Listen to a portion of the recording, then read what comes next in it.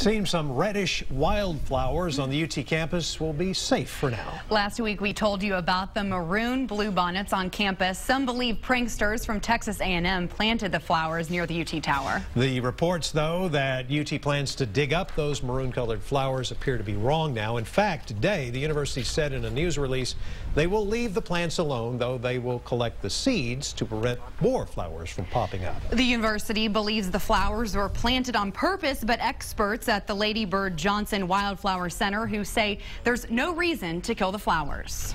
They'll go away by themselves. I mean, what happens when you put these so-called sports or these different colours out into the, into the population?